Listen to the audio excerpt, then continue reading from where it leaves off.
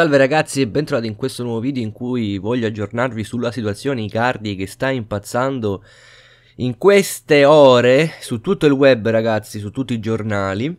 Vi voglio aggiornare perché proprio oggi, un'oretta fa, quindi intorno alle 10 e mezza, è uscito un articolo proprio su OneFootball e eh, hanno appunto affermato che Icardi si è presentato da piano gentile tra i non convocati ovviamente per la trasferta di Vienna per allenarsi insieme al gruppo, ovviamente dei non convocati. E ragazzi è arrivato per primo, nel senso che si è presentato all'appuntamento andando ad allenarsi prima di tutti. Adesso questo um, secondo me appunto è una tattica ovviamente dell'ex uh, capitano ormai che sta cercando di rimediare a, in tutti i modi insomma al paratrack insomma che ha, eh, che ha combinato. Ora, dal, diciamo, dal, dal testo dell'articolo trapela che cosa? Trapela che eh, innanzitutto si parla della non convocazione di Cardi, cosa che ieri ovviamente era diversa, insomma, perché si parlava del disertamento, diciamo della diserzione più che disertamento, scusate, da parte di Icardi alla partita, nel senso che è stato lui a non presentarsi, mentre adesso sta cambiando versione. Eh, che praticamente appunto si dice che lui non è stato convocato. Quindi ragazzi, stiamo attenti a quando critichiamo le notizie sui giornali perché neanche loro sanno effettivamente cosa è successo. Cosa dice poi l'articolo? Dice che dal punto di vista societario l'Inter sembra sorvolare sulla presa di posizione di Icardi, di appunto, eh, diciamo, di, di, rimanere a Milano, eh, perché ovviamente...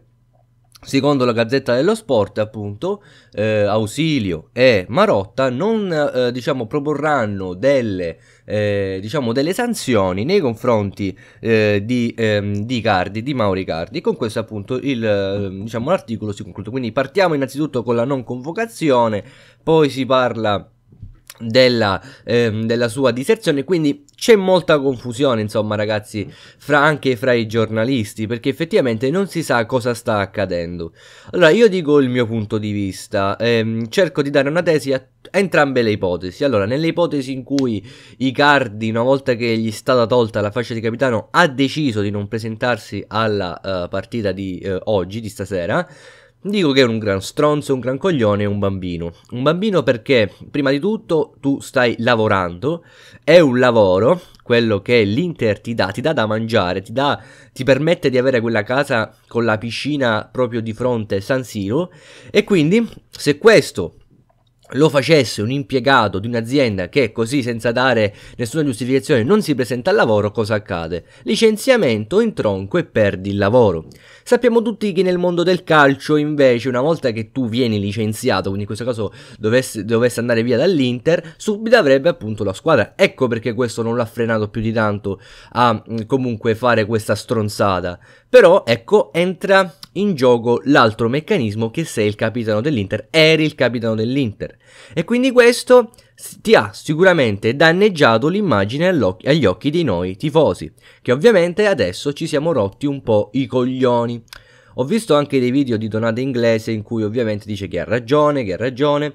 L'unico problema che secondo me lui appunto ha portato avanti è il fatto che nonostante fosse contro Icardi, in tutte quelle partite in cui si vinceva grazie ai Icardi, lui quasi quasi era scontento.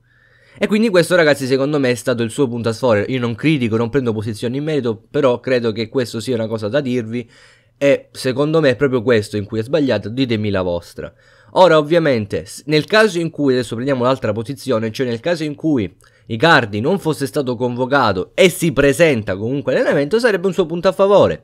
Ora bisogna capire qual è la verità fra le due ipotesi. Ragazzi, la verità sta sempre in mezzo, quindi secondo me, proprio secondo il mio punto di vista, è vero che Icardi non, non è voluto andare eh, di sua spontanea volontà, anche perché Spalletti non credo che ehm, dica delle cose senza avere appunto un fondamento di verità in conferenza stampa. Quindi secondo me ragazzi l'Inter è arrivato a un punto fermo di, su Icardi, ora questa notizia che non prenderanno dei provvedimenti non so quanto sia vera, Spero vivamente che però se il matrimonio appunto deve finire fra la società e il calciatore, di guadagnarci il più possibile, ragazzi, perché ovviamente se dovesse andare via per un prezzo bassissimo, noi andremo a perdere perché dovremmo acquistare un attaccante di spessore e preferibilmente giovane e non lo trovi per meno di 100 milioni, ormai sappiamo il mercato com'è. Quindi ragazzi, ditemi la vostra, vi ho aggiornato, quindi è, un, è, una notizia dell'ultima ora, ditemi come al solito cosa ne pensate, iscrivetevi al canale e seguitemi sui social, Instagram e Facebook, trovate il link in descrizione e nel commento in evidenza. Adesso è veramente tutto, ciao e alla prossima.